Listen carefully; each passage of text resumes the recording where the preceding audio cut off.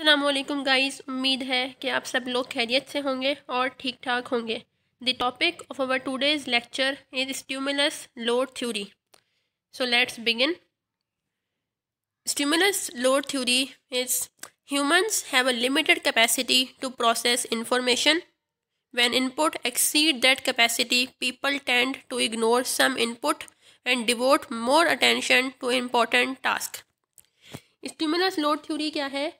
कि जैसे हमें नाम से ही पता चलता है कि स्ट्यूमुलस लोड जब एक इंडिविजुअल के ऊपर जो है वो स्ट्यूमुलस का लोड जो है वो बहुत ज़्यादा हो जाता है। Humans have a limited capacity to process information humans के पास जो है वो इंफॉर्मेशन को प्रोसेस करने की एक लिमिटेड कैपेसिटी होती है। अब वो उसी कैपेसिटी के अकॉर्डिंग जो है वो इंफॉर्मेशन को प्रोसेस कर सकते हैं। ठीक है?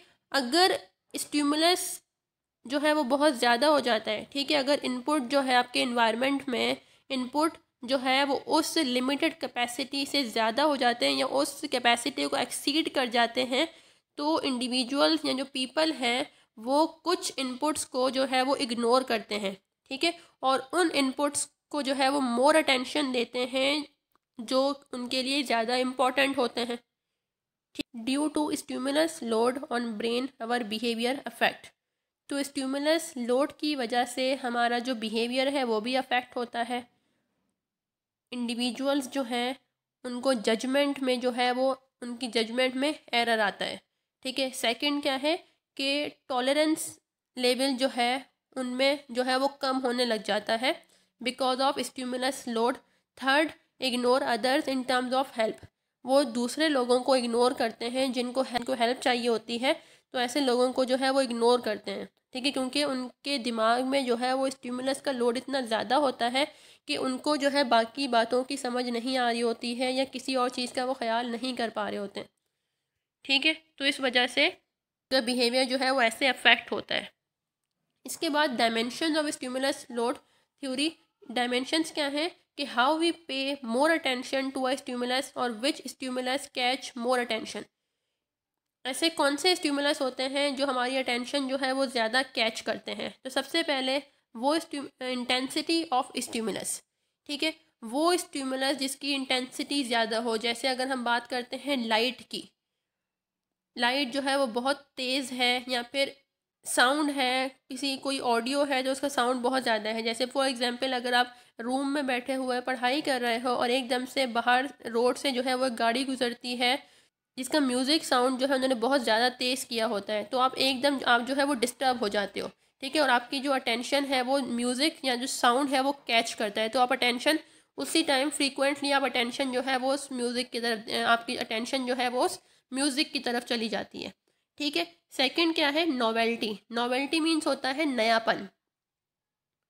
ठीक है? मतलब अगर आप किसी के घर जाते हो तो अगर वहाँ पे आप कोई नई चीज़ देखते हो, आप कहते हो, ये तो पहले नहीं थी, ये आपने नई ली है।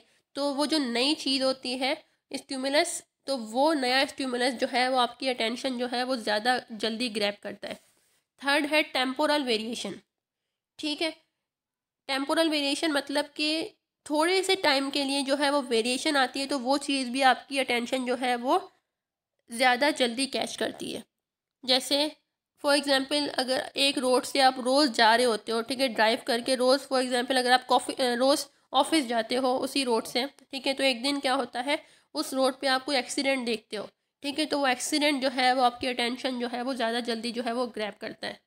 इसके बाद सरप्राइजिंगनेस सरप्राइजिंगनेस मतलब कि सरप्राइज़ जो है, वो आपकी अटेंशन जो है वो बहुत जल्दी कैच करता है। इसके अलावा है इनकॉन्ग्रुइटी।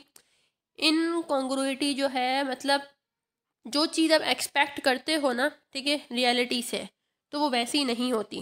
जैसे कि अगर आप बस में किसी पॉलिटिशियन को, किसी फ़ेमस पॉलिटिशियन को अगर आप ट्रैवल करते हुए देखते हो, ठीक है तो ये आपको जो है वो एक इनकॉन्ग्रुएंट सी चीज़ लगती है। वो चीज़ भी आपका जो है, वो अटेंशन जल्दी, जो है, वो ज़्यादा जल्दी क्रैप करती है कि एक पॉलिटिशियन और बस में ट्रैवल कर रहा है। हाउ और लास्ट जो डायमेंशन है, वो है कॉम्प्लेक्सिटी कॉम्प्लेक्स जो स्टिमुलस होते हैं, वो भी आपकी इंटेंशन जो है, वो ज़्यादा जल्दी जो है, वो ग्रैप करते हैं। जैसे अगर आप किसी जगह जाते हो और वहाँ पे आपको रास्ता ढूंढना होता है, आपको पता नहीं होता कि वो चीज़ जो है, वो कहाँ पे लोकेटेड है।